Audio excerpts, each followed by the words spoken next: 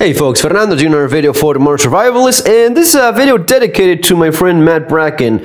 Uh, some of you know we've been doing these live streams each uh, Saturday, 3 p.m. Eastern Time. Yesterday we stayed talking even after two hours of, of live streaming, and we ended up talking about uh, Argentine knives. He had seen a movie called The Gaucho's Way, and you can look it up in, in YouTube. It's available there. It's basically like a, like a 1950s movie about gauchos. Gauchos would be like the cowboys of uh, South America, right?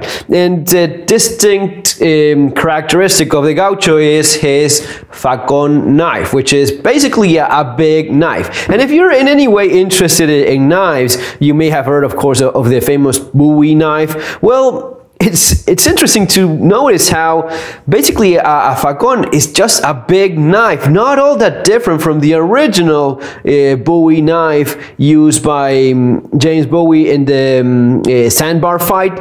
You know the actual knife used in that fight is very different from the clip point cross guard knife that we mostly associate with a Bowie knife. But this would be a typical facon knife, which is basically a big, large blade. And this is a traditional thing um, a gaucho would carry across his back. Just like this thing with, um, with a leather sheath this would be like the, the classic thing an actual gaucho would have with no decoration. And we'll get to that in a second. But typically it was a leather sheath like this, about 12 inch blade, long, pointy, and it was intended to be his do everything knife. It was intended to be used mostly as a, as a um, you know, agricultural, farm, rural working tool. So you'd see, I mean, right now if you look up gauchos, horses, horses and all this stuff. Even till this day, you see gauchos with this sort of knife. Some will have more decorated blades, of course, these days, but traditionally, something like this would be the more common thing, especially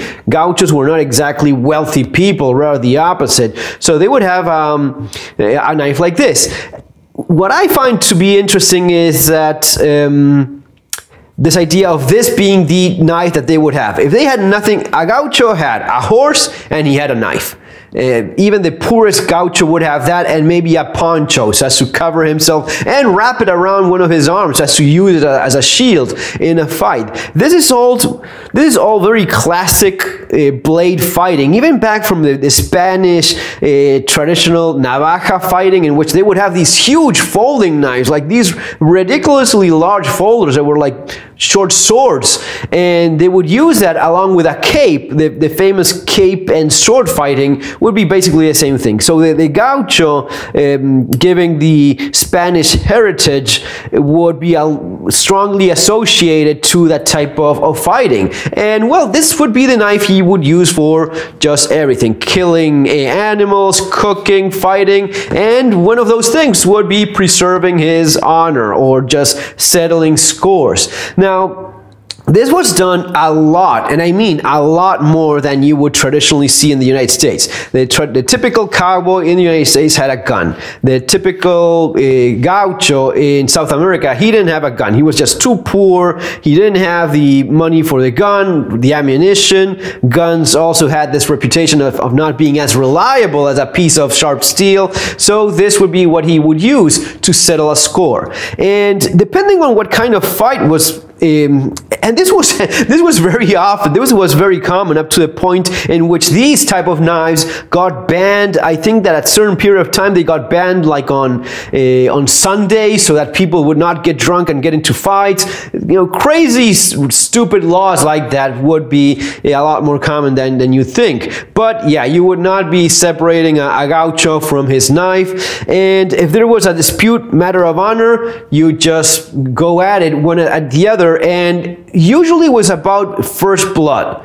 Who draw first blood would be the actual winner and that would be it. You wouldn't go for an actual kill. In fact, if you actually got your mind clouded by rage and actually killed your, your opponent in a matter eh, of, of a minor dispute, you would um, dishonor yourself, you know, which is what the, the movie is about and it's the, well, the, the classic story of Martin Fierro uh, is uh, very similar to what you see in that movie. So the idea was not to fight to actually kill the guy if you were settling a, a score. And of course, every once in a while there was a matter of, yes, life and death, and it was just about killing the other guy, and, and that would happen. But these this, this thing about settling scores at first blood was so common that Darwin, when he traveled along South America down even to Tierra del Fuego, which is the tip of South America at the end of the continent, he would mention that he see these locals all cut up across the face, nose missing, ears missing,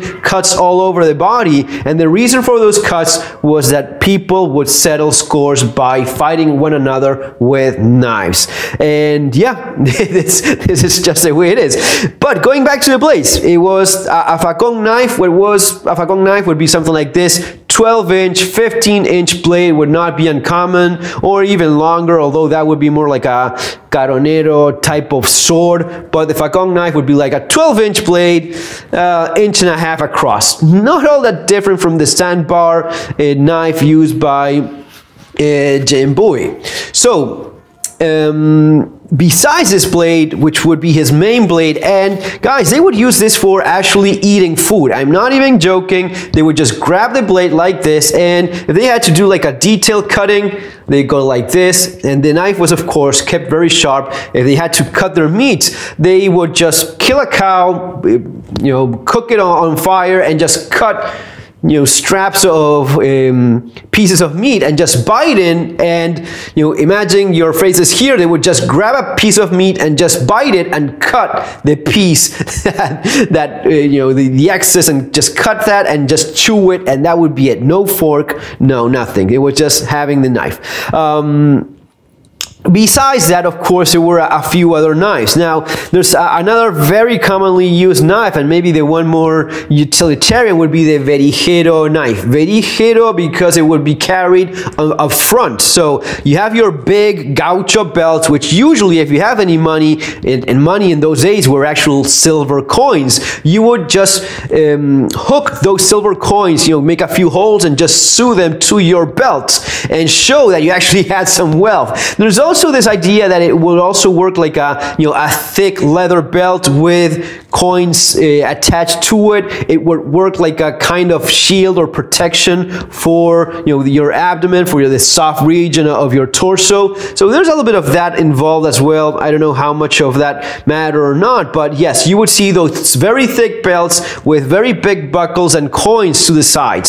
But one of these tiny knives would be the verijero knife, which would go up front. And the verijero knife would be be something like this. This is a true verijero knife. Nothing fancy about it. It's one of the cheapest knives I ever bought. It's like two, three bucks back in the day. And it's just a piece of bone. This is uh, from Nyandu. Nyandu, what is it, like a big, like an ostrich kind of bird and that's this is one of the legs of that bird right? So it's a big big bird and it, it, was used as a handle. And this is an old Argentine co coin brass back in the day. So yeah that's what they they use and this is not a very old knife. It's old enough but not not super old. And yes here's another coin as well. And this would be a typical tiny verijero knife which would be the typical companion of the facon knife. You know, these two. This is also bone, as you notice, and this blade, the, the gaucho would make knives out of broken swords, bayonets, any chunk of steel they could come across. This is a, a little bit of a mystery steel, and if you know anything, just let me know. It says England 1867,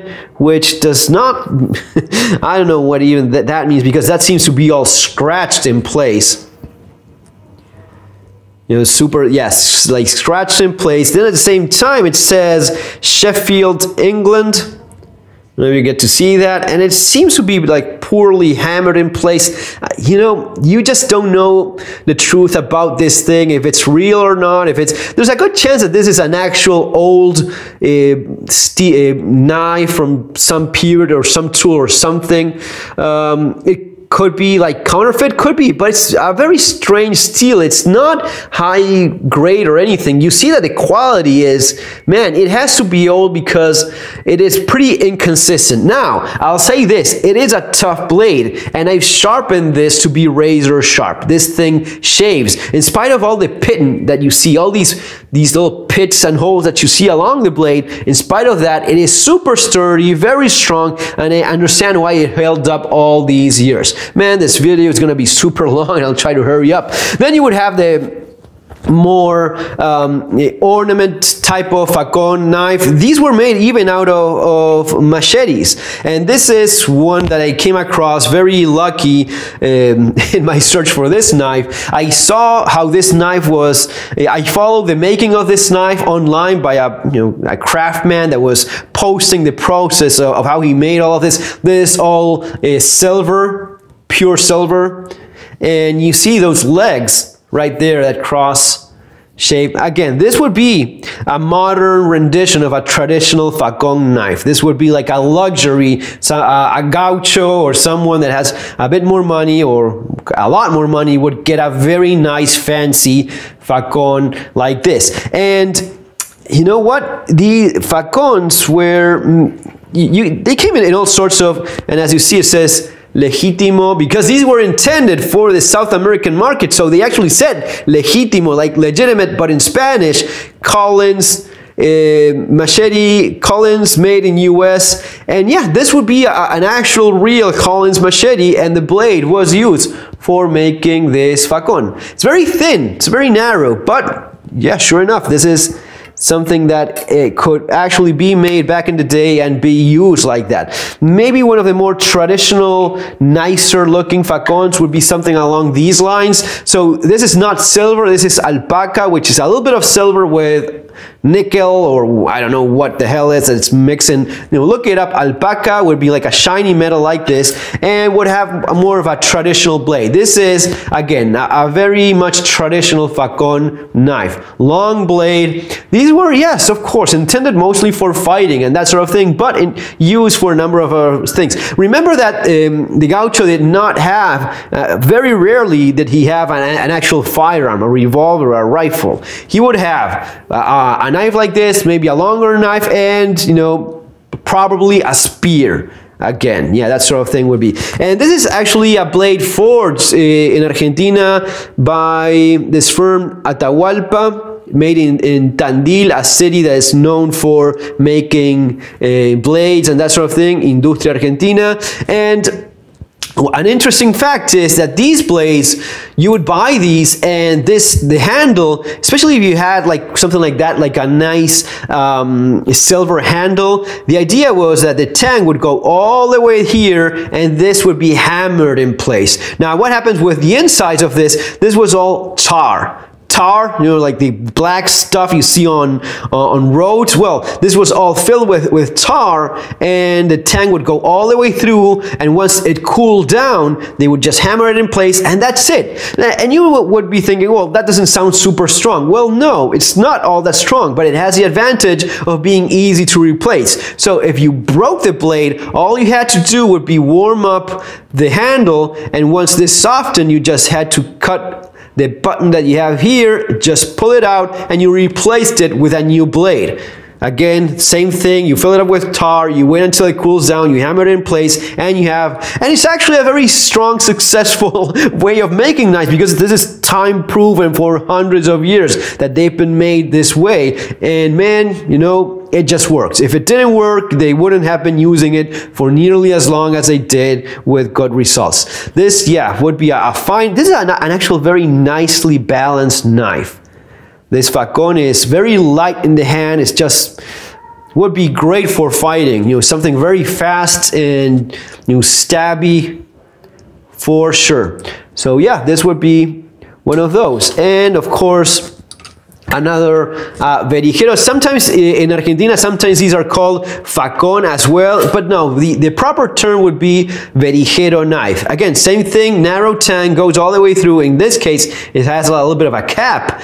And this is alpaca, again, not actual silver, but these would be very common in Argentina. Again, same brand Atahualpa blade, all of these are carbon steel, of course, and yeah, you would just have to take care of it, make sure it didn't you know, rust or anything, but no stainless steel. All of this is a, a carbon steel blades. Uh, then, of course, the, the traditional boleadoras. These are actual boleadoras made so as to actually be used. This is just rock and skin. Actually, I think this is from the testicles uh, of the bull. And the way in which these are made is the traditional way, which is two larger ones and one smaller one, so as to actually, you know, deploy them properly. But these are very sturdy. I have a couple of these I got, you know, somewhere at some time in some period of time, at some point in life. But these are super, super solid, and yeah, real, actual boleadoras. You have more decorated ones, but this is like like the real deal thing. Traditional, intended to be used. I mean, these are things that many people will still be using. Um, you know, maybe you don't see guys with, you don't see gauchos, and the actual real gaucho, would, which would be like semi-savage guy living off the land, you don't see all that much. You see a lot of paisanos, like guys that they, they dress up like gauchos, they have the knife, but they just are rural folks that work in the fields and just live uh, out in the country. You know, country people from Patagonia, and they just work with horses, with cattle, whatever that is, and just you know the, the, traditional folks from uh, from the country.